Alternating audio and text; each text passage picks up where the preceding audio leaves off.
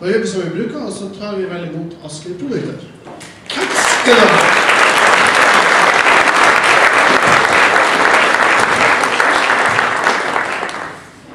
Tusen takk. Hei, alle sammen.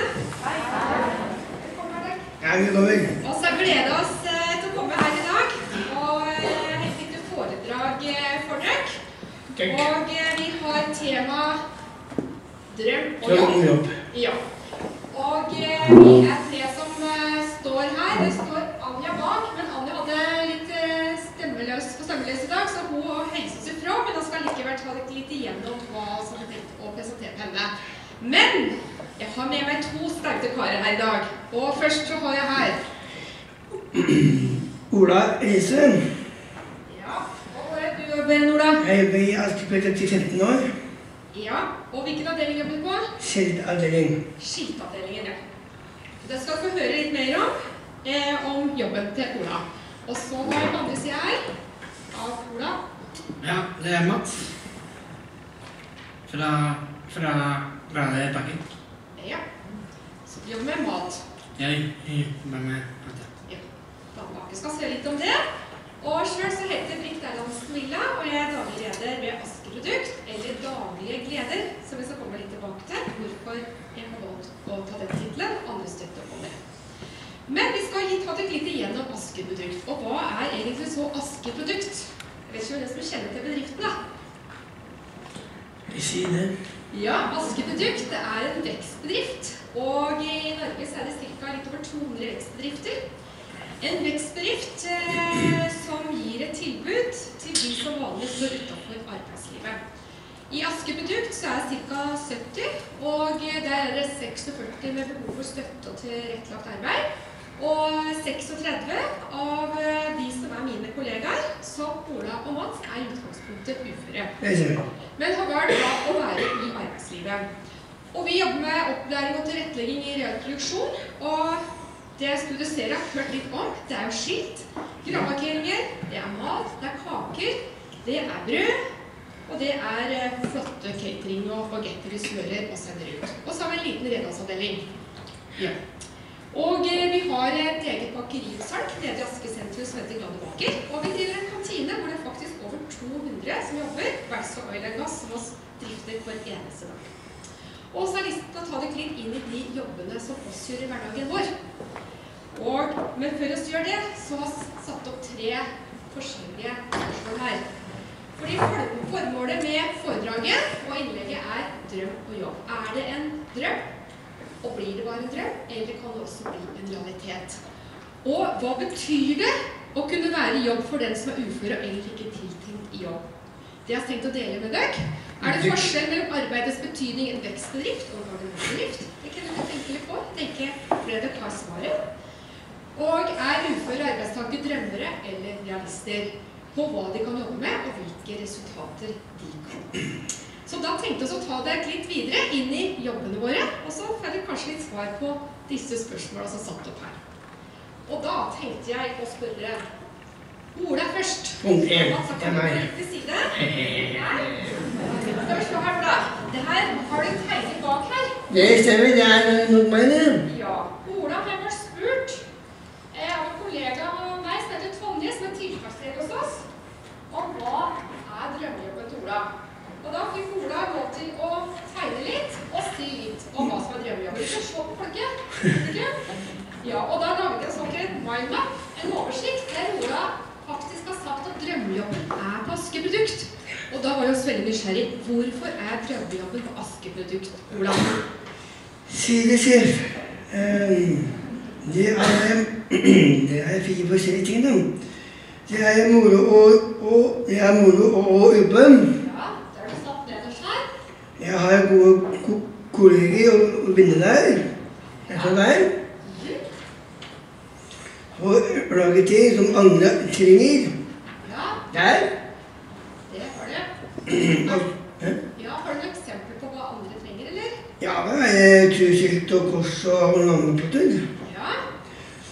Og så er det da å få jobbe med mange forskjellige forskjellige maskiner. Så er det på toppen her. Det er mellom klavering, Gravering, ja. og flodling og Gulden og, og liksom kvinner. Gundersen, Gundersen, en stor maskin her. Det er kanskje også på Gundersen her. En stor maskin som vi ikke visste helt hva var inne og fikk, men så Gundersen på pakka, så den har fått eh, navnet Gundersen. Det er en jeepmaskin som skjærer ut av skitene. Ja. Og så står det gravering der. Og så graveringen. Ja. Og fladding, er det det? Ja, fra, fra fladdingen. Ja.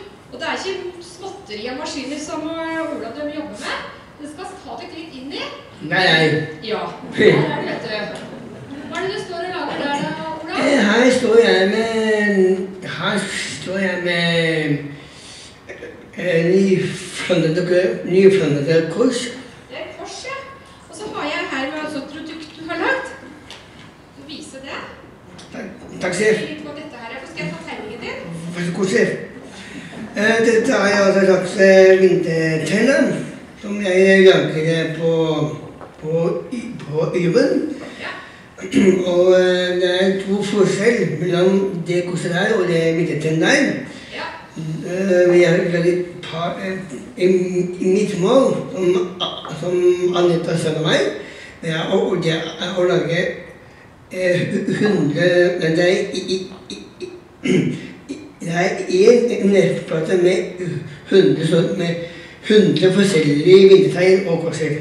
Ja, det er det. Så setter du mål da, og det produserer du. Og dette er et ventetegn. Vi har faktisk 96% av begravelsesmarkedet i Norge på kors og tegn. Og dette er et ventetegn, og da lager vi ventetegnet først. Og senere så kommer vi tilbake og bestiller et navneskilt der. Er det noen inni der? Ja. Men du sa også at du produserer eh, skilt. Kanskje du skal vise fram et skilt? Selvfølgelig. Kan det godt hende at det skiltet er kjent for noen av de som sitter i salen her? Og så kan du for de som har sett sånt skilt før til å rekke opp hånda si. Skal vi se om det er mange som kjenner til skilta våre, som holder opp det. Skal vi se, er det mange som har sett et sånt, hvis vi holder opp det, er det mange som har sett et sånt skilt? Så her er det ganske mange som kjenner skilta våre. Ja, såpass er ikke utrolig mange. Ja, det var mange. Og da har vi så 80 kommuner rundt omkring i Norge som eh, bestiller skilt, og så har vi oss en stor kunde som heter Den norske turistforening. Og da tenker jeg at det er så mange som rekker opp hånden her ute, så tenker jeg at det er jo veldig mange sport i salen, da. For du må som regel ut i skauen for å finne skilta. Det stemmer. Ja. Det tror jo Ja. Og dette er ganske mye arbeid på. Ja. Og når du fortalte om de maskinene i stad, så er det maskinene som gjør de forskjellige operasjonene. Det stemmer. Ja, f.eks. gravering. Hva er det du får til å bruke det, da? Hva Det blir vi inne på skilteavdelingen. Ja, da får du fram de fine bokstavene. Ja. Ja. Skal vi vise en liten film om hvordan et skilt blir til? Skal vi gjøre det? snur vi filmen, Ja. som det var. Jeg vet jeg følger det i meg, altså. Se film. Hva er det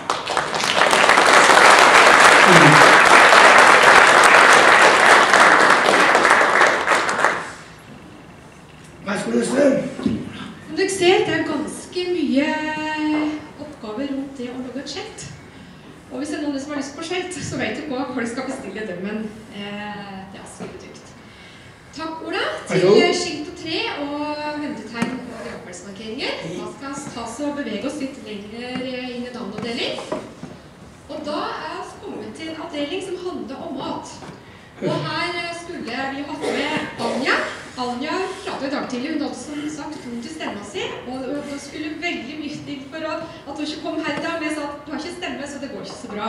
Det er veldig veldig stor grad av nærvær. Jeg kan innrømme at eh, vi nå tok eh, oversikt på sykefraværet.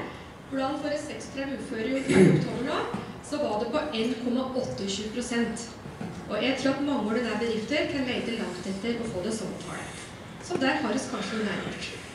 Men Anja hun skal fortelle litt om allikevel. Mads Kirsten kommer fram og hjelper meg her.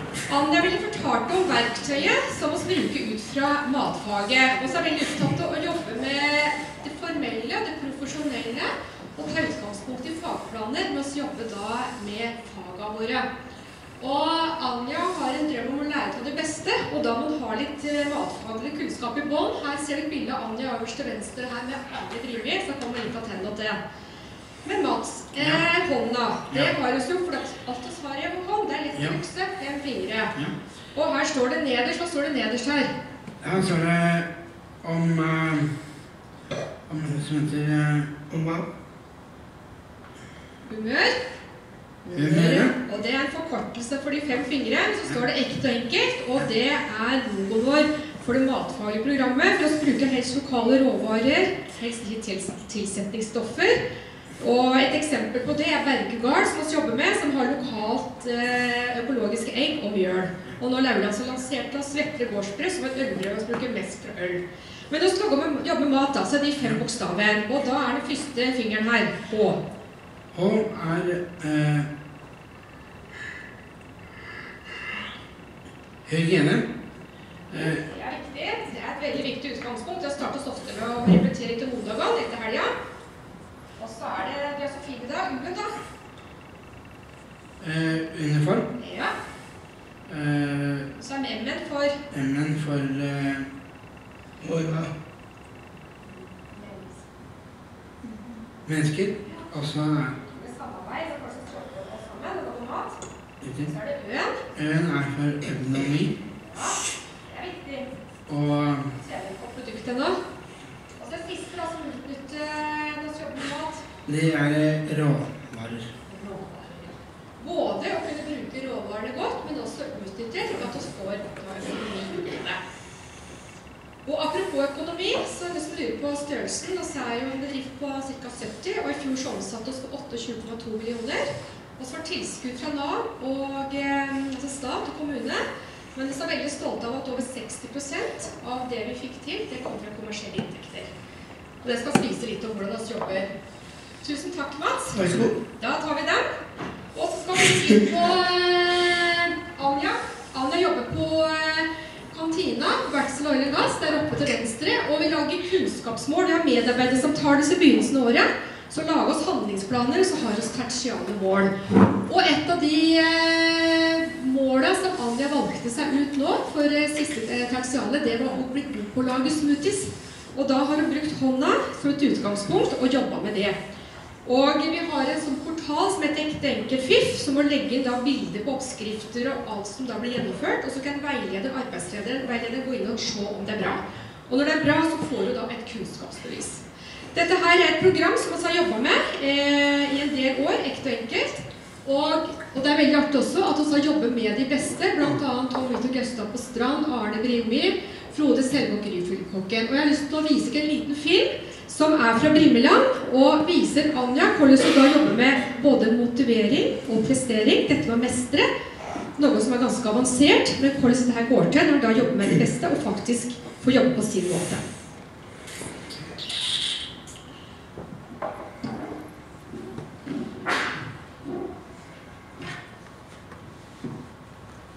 Asker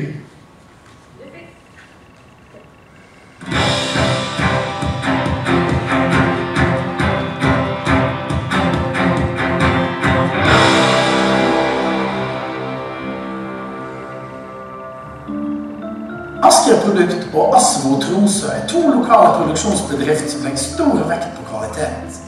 Matkonseptet Ekte og enkelt handler om mat og mennesker.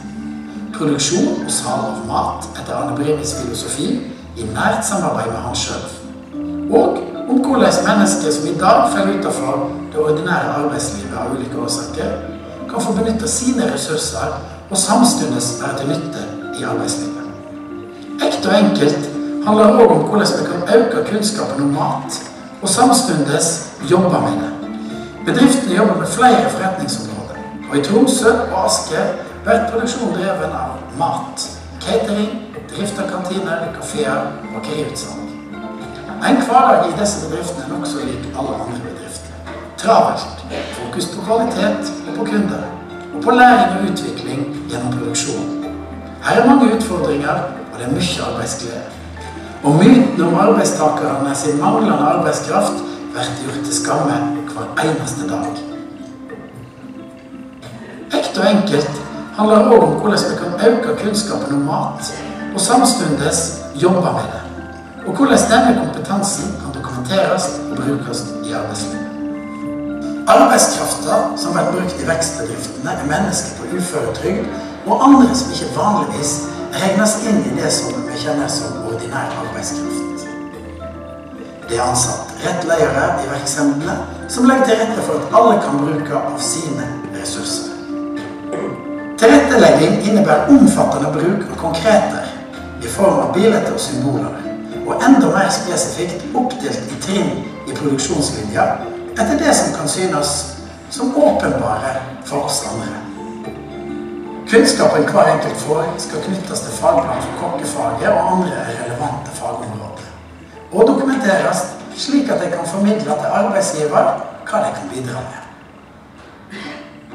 Arne Brimi har jo vår inspirasjonsbase gjennom ti år. Her er det mestring. Den ene delen av mestringen går rett og slett på å filetere kveite. Det er ikke så mange som kan det lenger. Ikke engang til ordentlige kokker. Så det er flere og flere som glemmer det. Det er her vi startet Ekte og enkelt, som vi nå har holdt på med i ti år. Og fordi at det gir en, både en nærhet til Arne og hans matfilosofi, og nærhet til natur og mennesker. I Brimiland har leverandører, politikere og godtfolk helt konkret fått oppleve hva disse menneskene har å bidra med dersom det blir lagt til rette for det. Sånn. Kjempeflott. Du var så flink, du. Men har år, det er mye større glede når de mestrer enn gjengen her er når folk flest prøver å mestre.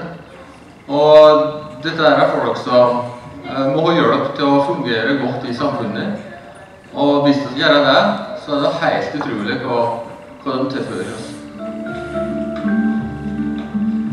Har dere lest dere noe mer om kveite? Noe, noe som dere vet hva type fisk det er? Er det en, bill, er det en billig fisk? Er det en dyr fisk? Det er en dyr fisk. Er en dyr fisk?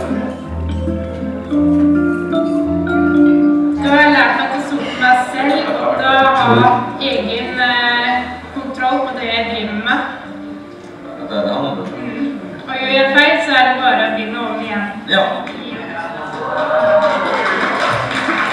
Jeg mener at mange har i seg betydelig ubrukte arbeidsressurser som kan nyttes i næringslivet, og har funnet fram til noen enkle forutsetninger for å hente disse fram.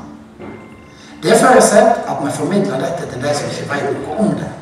Det krever dialog og kontakt med fagmiljø og parter i næringslivet til politikere og folk flest. Det er litt sånn at, at jeg har egentlig sitter og lager skole eller eh, og minser og så, sånn der. Det er arbeidstakerne som er pådriverne for å fortsette med ekte og enkelt. Da de uttrykker og viser i praksis at dette er en god og forståelig måte å lære på, og at de mestrer produksjonen. Det handler om dialog og om muligheter for ny læring for alle parter. Er det med det?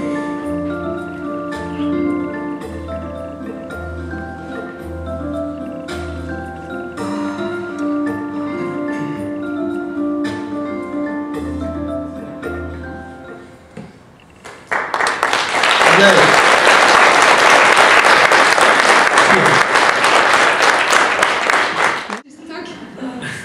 Da skal vi fortsette å si takk for det. Da skal vi fortsette litt. Da har vi hørt om eh, Ola, som har drømmejobben sin på Asker Produkt. Og så har vi hørt om Anja da, og Seth, som lager, liker å lage kule produkter og jobber beste. Men da, Mats, da er det din tur. Og du liker å drømme Ja, så bra. og tenke stort. Ja. Det gjør du. Og det skal du få dele litt med oss nå, eh, Ja. Mats. Og så kan jeg begynne litt med det nederste bildet her, som vi ser her. Den er knytta til et miljøfyrtårn. Ja. Har du lyst til å si noe om drøm og jobb og mål der? Ja, eh, jeg ble faktisk kåra av M- Miljøfyrtårn av, av, eh, av eh, sortering av mat. Eh, jeg ble, jeg ble egentlig kåra av, av det. Som jeg, det er forskjellig hva jeg egentlig gjør. Og sorterer av matavfall, plast og papp, som jeg egentlig kaster. Hver eneste container. ja. Så du er på Den glade bake, så har du noen egne oppgaver som du er spesialist på, og masse ansvar for kildesortering på Glade baker. Og vi ble miljøsertifisert her for litt over to år siden, så ble vi resertifisert nå i vår. Og da var Mats med prosjektgruppa. Da tok oss enda lengre på å være nøye på å sortere. Vi er opptatt av å måle hva som kaster. Og du gjorde det så bra. Så når Mio kollega som er leder på Den glade baker, fortalte om hvordan du jobba, så ble han kåra som ukens miljøhelt hos Miljøfyrtårn. Og han er med nå om nominasjon og blir årets miljøfyrtårnhelt 2015.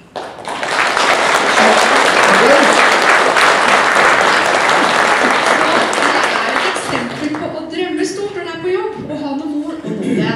Men jeg ser et bilde bak der av Du har noen boller, Mats. Ja.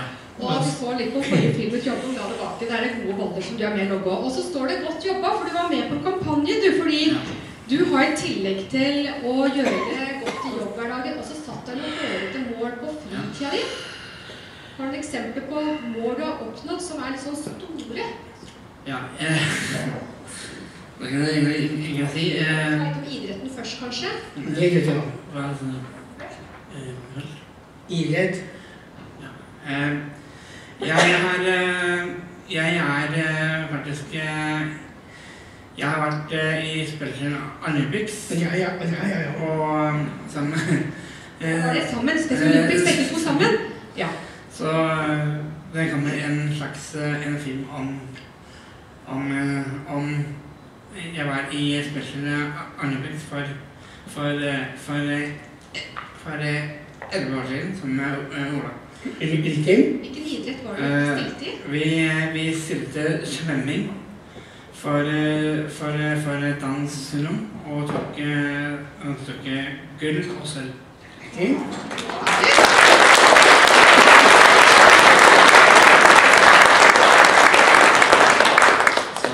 Er det en måte dere også har brukt til å nå mål på jobben? Det er for å bli olympiske mestere? eh, vi, vi, eh, vi jobba hardt. Vi trente. eh, To ganger i uka. eh, to ganger i uka, som eh, jeg og, liksom, hadde jeg og Ole gjør. Så Og så ble du spurt om å være på en ekspedisjon. Da, Ja. da satt jeg og inne, men så tenkte jeg at jeg har jo klart å drømme stort før og nå mål. Og Ja. Kan du fortelle oss litt om en ekspedisjon du var på nå her i fjor? Ja, eh, det var en eh, stor eh, inn... Jeg har vært eh, Jeg eh, er med som heter eh, Himmeljegerne. Jeg tror de fleste har sett den, tror jeg. Kanskje. Ja. Eh, jeg har vært i, i Canada og har, eh, har eh, padlet eh, ca. 36 mil i Canada i som heter Yukon eh, Yukon Driver. Som at det skal eh, egentlig se her. Nært. Fantastisk. Skal vi høre med noen her som har hatt det på en sånn ekspedisjon? Hånda i været? Nei, Jeg ser ingen. Verre enn det var. Nei. Ja. Så Tror du du var nysgjerrig på å se litt om hvordan den eh, turen gikk? Ja. Så røper vi ikke nå om du klarte den der. Skal vi svise litt til? Snurren. Jeg prøver å få det her. Jeg må sette. Bare spør, spør, spør.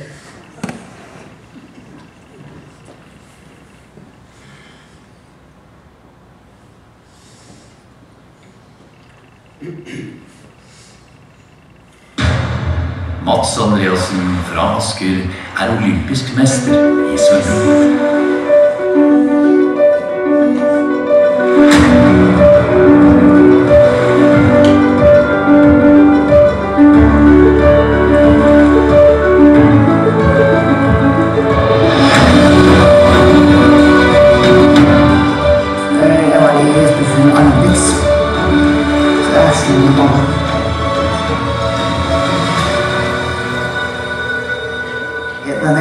I pallen, så skrek jeg ja! Det var stort eh, for meg å oppleve eh, eh, sånt, da. Mats deltar ikke bare i Special Olympics. Til daglig jobber han hos Aske Produkt og Den glade baker. Vi har skos, har vi. Jeg tar fire skoleprøver. Aske Produkt er en av 220 vekstbedrifter i Norge som hjelper mennesker som trenger bistand til å finne sin vei i arbeidslivet. Altså, jeg jobber fra åtte til halv, tre. Jeg tror det er veldig sånn jeg jobbhusker, men eh, jeg liker og, å, å sove. Jeg, kommer alltid stadig sent ute, men eh, jeg får, litt sånn, eh, sånn litt sånn eh, tilsnakk, da.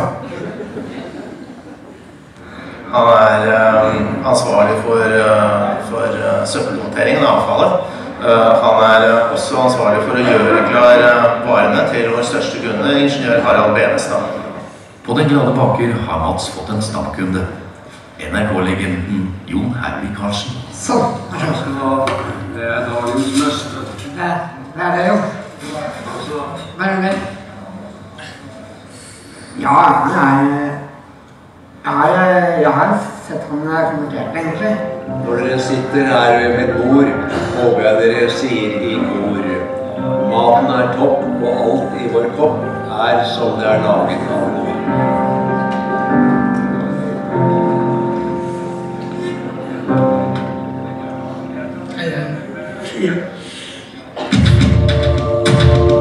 Mats tar gjerne imot utfordringer. Våren 2014 dro han sammen med Morten på en seks ukers lang ekspedisjon til Canada. Vi trente ganske hardt. Vi trente nesten to år, vi. Jeg syns det er gøy å se noen spennende ting, da. Eh, Den ene bjørnen var ca. fem meter unna oss. Den var, den var jo ganske skummel å se.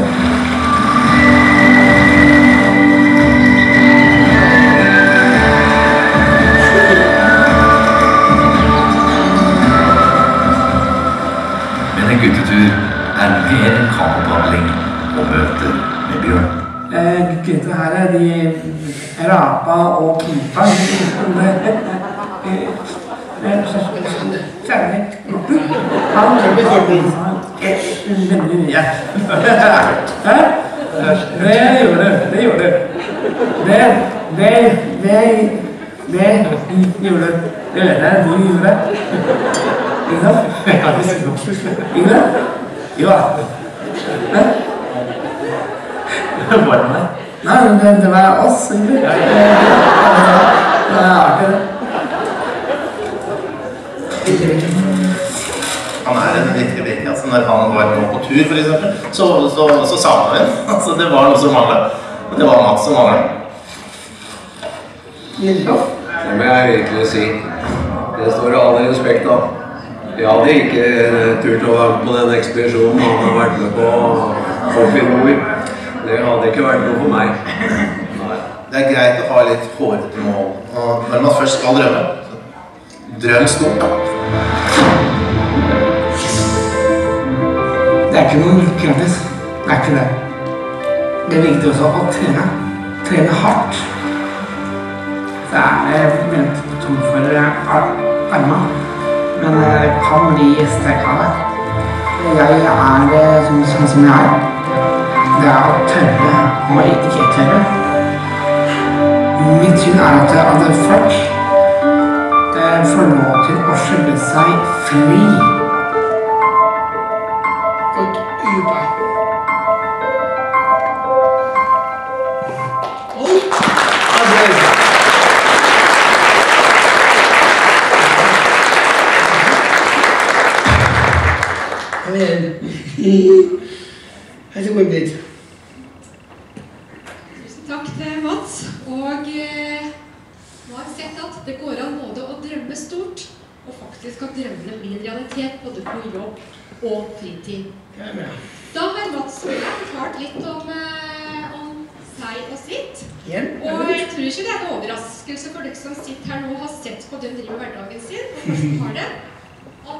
Jeg har drømmejobben.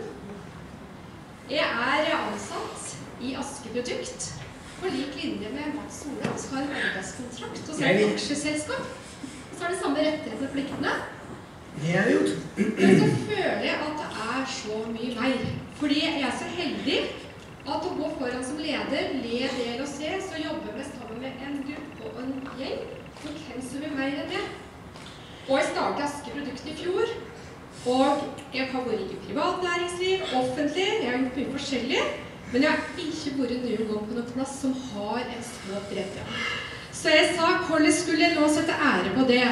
Jeg har noen som har et ekstra kromosom som ikke jeg har, og klarer å bli olympisk mester og padle Grand Canyon Canada. Vi har kollegaer her som er artister, som vi kommer til å spørre når jeg er født, og året, og kan si hvilken dag jeg er født på.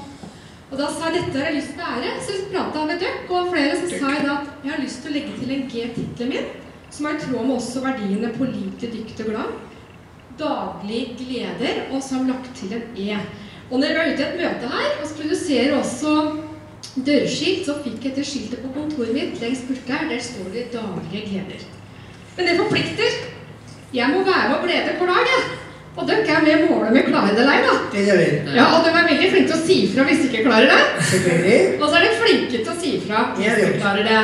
Og så har de utfordra meg litt i dag til å være med og glede dere noe mer sammen nå. Og da sa jeg da at dette vet ikke om jeg tør, jeg skal få se det etterpå. Men så sier dere til meg at det er ikke så farlig for oss hvem det. Så jeg kan lene meg litt på dem. Derfor skal dere stå framme, jeg skal stå litt bak etterpå. Fordi det handler om at når en drømmer klarer å rå drømmene sine og bli en realitet, som dere har sett nå Askeputøy er som en ordinær bedrift. Vi konkurrerer på lik linje med andre. Vi leverer ikke disse skiltene gang på gang for at de støtter oss. Ja, det er tatt samfunnsansvar, men de krever at disse her de fullfører de samme krava som skiltet gjør i en ordinær bedrift. Ellers er vi ute. Og vi har en gjeng som kan og vil, og gjør det kjempebra hver eneste dag. Og så har det gøy på jobben. Det er. Ja. Så det vi også gjør, se oss da, det er vel til litt høytidsdager og skal by litt ekstra. Så her er Anja. Anja, det her er det halloween. Og så skal vi finne på noe kantine på halloween. Da er det lett å kunne liksom pole til et gresskar. Det gjorde oss. Og legge på seg selv. Nei, jeg har lyst til å by på meg sjøl, jeg. Så hun satte på seg den grønne nå sånn der, så kan du være helt sikker på at alle som kom i den kantinen den dagen, det var som et stort smil. Og det det handler om, og det er uavhengig om det er vekst eller det er bedrift, det å skrive med bøker om at folk som får utvikle seg opp, utleve mestring og motivasjon, det må også få skjøte litt til og by på seg sjøl i andre sammenhenger. Og oss syns at det skal alle få en anledning til. Og skal også by litt på oss sjøl, da? Nå? Er dere klare, gutter? Om vi er, så er det må jeg klart. også si at det må ha litt sånn støtte fra salen. altså Det er lov å være litt, hvis du blir litt begeistra nå, det jeg skal oppleve nå, så er det lov til å gå og være med litt og reise seg litt og klappe litt i vei. Jeg får håpe det.